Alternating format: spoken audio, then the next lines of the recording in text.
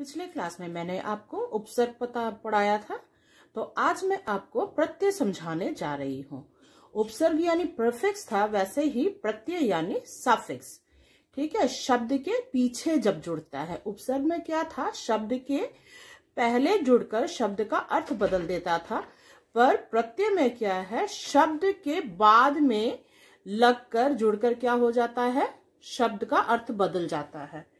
जैसे देखो यहाँ पे मैंने लिखा है, जो शब्दांश, यानी शब्द का अंश किसी शब्द के बाद में लगकर नए शब्द का निर्माण करता है, उन्हें हम क्या कहते हैं? प्रत्यय कहते हैं। तो प्रत्यय का अर्थ मैंने क्या कहा? सफिक्स, ठीक है?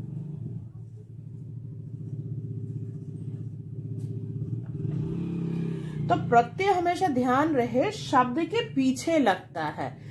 और जो उपसर्ग है वो आगे लगता है। तो इसके लिए आपका जो हिंदी साहित्य का इतिहास किताब है, उसका आप उदाहरण के तौर पर पृष्ठ संख्या 280 में आपको मिल जाएगा।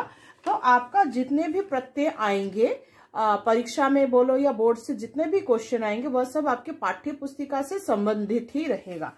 तो चूँकि आपका सिलेबस में मेरे राम का मुकुट भीग रहा है, ये चैप्टर है और इसके अलावा जो है मैं नर्क से बोल रहा हूँ तो उसी से संबंधित मैं कुछ प्रत्यय आप लोगों को प्रैक्टिस करवा रही हूँ।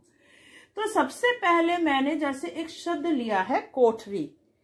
कोठरी यानी घर। तो कोठरी में देखो, कोठा हो गया मूल शब्द और ई जो कोठरी में देखो बड़ी ई है तो बड़ी ई मतलब प्रत्यय में क्या हो गया? री। तो कोठा के साथ, कोठा यानी घर तो उसके साथ री प्रत्यय जुड़कर क्या शब्द बन जाता है? कोठरी। तो अगला और एक शब्द देखो, राजकीय।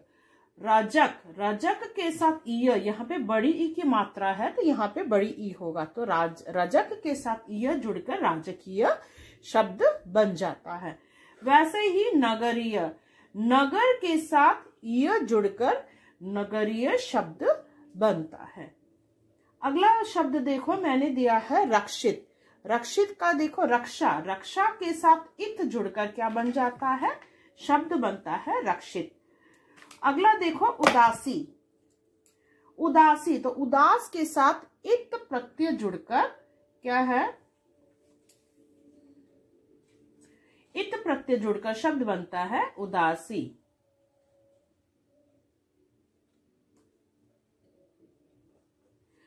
नागिन का देखो, नाग के साथ इन जुड़कर क्या शब्द बना है? नागिन। नाग के साथ यहाँ पे ग में छोटी की मात्रा है, इसलिए यहाँ पे छोटी ई की ही मात्रा होगी।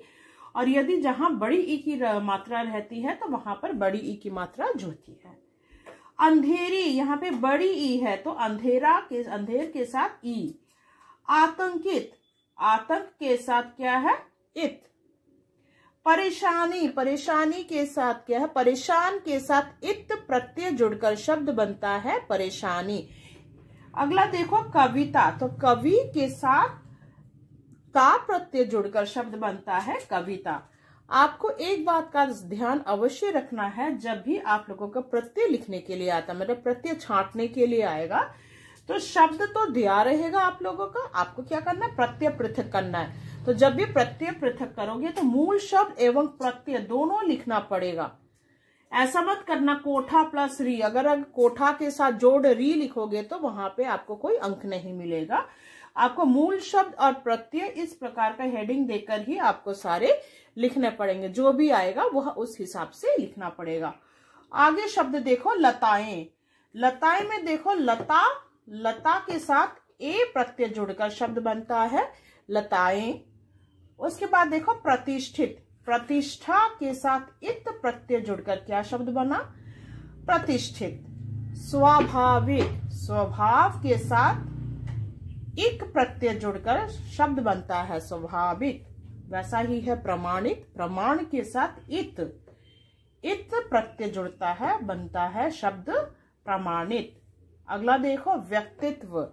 व्यक्ति के साथ त्व। अगला देखो महीना। महा के साथ ईना। महीना शब्द बनता है। महा के साथ ईना जुड़कर शब्द क्या बनता है? महीना। फिर है देखो अगला शब्द अनमनेपन। तो अनमने के साथ पन जो है वह प्रत्यय है। प्रत्यय जुड़कर शब्द बनता है, अनमनेपन। बस अंडरलाइन अगर कर दोगे तो नंबर नहीं मिलेगा। आपको अलग करके उसे आपको दिखाना पड़ेगा। निर्मा, नीरसता, नीरस के साथ ता प्रत्यय जुड़कर शब्द बनता है नीरसता। अगला शब्द देखो, यहाँ पे मैंने उदाहरण के तौर पर दिया है, मानवीय। मानव के साथ य प्रत्यय जुड़कर मैंने क्या शब्द बनाया? मानवीय। तो अगला और एक शब्द देखो, क्या है? ऊपरी। ऊपर के साथ शब्द क्या है? यहाँ पे प्रत्यय जुड़ता है ई। तो ऊपर के साथ ई जुड़कर शब्द बनता है ई प्रत्यय जुड़कर ऊपरी। इसके बाद मैं जो है आपको अगला जो चैप्टर है आ, मैं नर्क से बोल रहा हूँ उससे संबंधित मैं कुछ आपको प्रत्यय के उदाहरण मतलब शब्द मूल शब्द और प्रत्यय के उदाहरण दूँगी। पिछले क्लास में मैंने आपको आ, मेरे राम का मुकुट भीग रहा है ऐसे कुछ मैंने आ, शब्द एवं प्रत्यय करवाए थे और अभी मैं जो हूँ, मैं नर्क से बोल रहा हूँ। नामक पाठ से कुछ उदाहरण मैं आपको समझाने जा रही हूँ। तो मैंने आपको क्या कहा था? प्रत्यय किसे कहते हैं? जो शब्दांश किसी शब्द के बाद में जुड़कर, ठीक है? एक नए शब्द का निर्माण करता है। उसे हम क्या कहते हैं? प्रत्यय कहते हैं। तो जिसको हम अंग्रेज़ी में सफिक्स कहते हैं। तो यहाँ पे मैं नर्क से बोल रहा हूँ। देखो, यहाँ से मैंने कुछ शब्द दिया, जैसे मेरी। मेरी री में बड़ी ई की मात्रा है तो मूल शब्द जो है वह मेरा होगा और प्रत्यय होगा ई, बड़ी ई होगा, क्योंकि यहाँ पे बड़ी ई की मात्रा है। ध्यान रखना, अगला जो शब्द है फरियादी तो फरियाद मूल शब्द हो जाएगा और प्रत्यय जो होगा वह है बड़ी ई फरियाद के साथ बड़ी ई फरियादी। अगला शब्द देखो, सस्ती। तो यहाँ पे देखो, सस्ता एक शब्द हो गया। सस्ता जब लिख लेंगे तो बाकी रह जाता है ई, यानी बड़ी ई की मात्रा है तो सस्ता के साथ बड़ी ई, सस्ती। फिर अगला शब्द देखो, यहाँ पे मैंने दिया है मनुष्यत्व। तो मनुष्य हो गया मूल शब्द। और त्व जो है, वह हो गया प्रत्यय। ठीक है ना? त्व बाकी था तो वह हो गया प्रत्यय। वैसा ही पशुत्व पशु हो गया, यहाँ पे देखो, पशु जो हो गया, वह हो गया मूल शब्द, और ये जो त्व बाकी है, ये हो गया प्रत्यय। और एक शब्द देखो, जिम्मेदार। जिम्मेदार में जिम्मा हो गया शब्द। ठीक है? मूल शब्द हो गया जिम्मा, और प्रत्यय हो जाएगा दार। अगला उदाहरण देखो, मैंने दिया है जैसे झोपड़ी। झोपड़ झोपड़ के साथ बड़ी ई बड़ी ई लगा तो शब्द बन जाता है झोपड़ी। भूखा, भूख के साथ आ प्रत्यय लगकर क्या हो जाता है? शब्द बनता है भूखा। यहाँ पे देखो, मैंने और भी कुछ उदाहरण दिए हैं। इस प्रकार आपको किताब में बहुत सारे उदाहरण मिल जाएँगे। आप इन सबको प्रैक्टिस करेंगे। सिर्फ़ चैप्टर से ही नहीं आपका जो सूरदास के पद है सूरदास के अलावा जो रसखान के सवैये हैं उसमें से भी आपको कुछ उदाहरण मिल जाएँगे जो पाठ्य पुस्तिका में आप लोगों की जो आ, हिंदी साहित्य का इतिहास एवं व्याकरण प्रवेश है उसमें कुछ उदाहरण दिए गए हैं।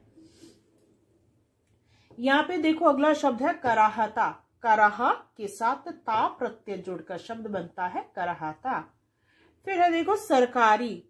सरकार हो गया मूल शब्द, ई हो गया प्रत्यय। मर कर मर हो गया मूल शब्द, कर हो गया प्रत्यय। अगला देखो, लांघता। लांग हो गया मूल शब्द और ता हो गया प्रत्यय।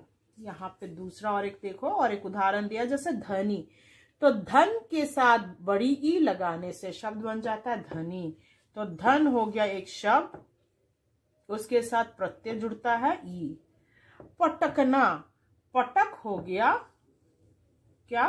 मूल शब्द और ना हो गया प्रत्यय। और एक उदाहरण मैंने यहाँ पे देखो देखो जीवित। जीव के साथ इत प्रत्यय जोड़कर शब्द बनता है जीवित। और एक उदाहरण जैसे चढ़ाई, चढ़ के साथ आई प्रत्यय जुड़कर शब्द बनता है चढ़ाई। इस प्रकार मैंने बहुत सारे उदाहरण देकर आपको समझाया है। आशा करती हूँ आपको प्रत्यय समझ में आया होगा। अगर नहीं समझ में आता है तो आप हमें बता सकते हैं। तो इससे संबंधित ये जो पीडीएफ है, वो मैं आपको वीडियो के साथ ही भेज दूँगी। धन्यवाद।